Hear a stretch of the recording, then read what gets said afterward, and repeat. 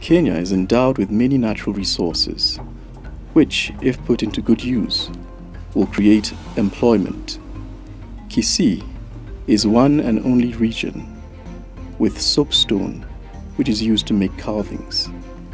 Daniel Kerioba has observed the wastage of the precious stone and has come up with the following idea to enhance its use and create employment. We came up with the idea of manufacturing tiles because of the concern of the wastage of the soapstone which is wasted after making soapstone carvings. We have realized there is a fast expanding construction industry in Kisii County and the former Nyanza province, which is composed of six counties, and the country as, at large.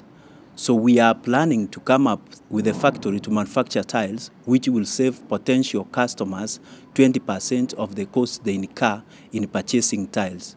We intend to, to get a, a 20% market share of the tile industry within the first three years of our operation.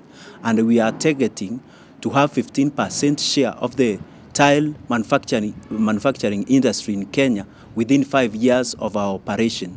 We will, we will come up with in creative, creative marketing and publicity methods of selling our products so as to ensure that customers are able to differentiate our tiles from the competition by coming, coming up with diverse offerings and especially challenging our competitors on the pricing strategy. We are looking for an investor to, uh, uh, to partner with us by investing 5 million besides of the human and some uh, monetary resources we have so as to come up with a factory which is projected to cost around 8 million.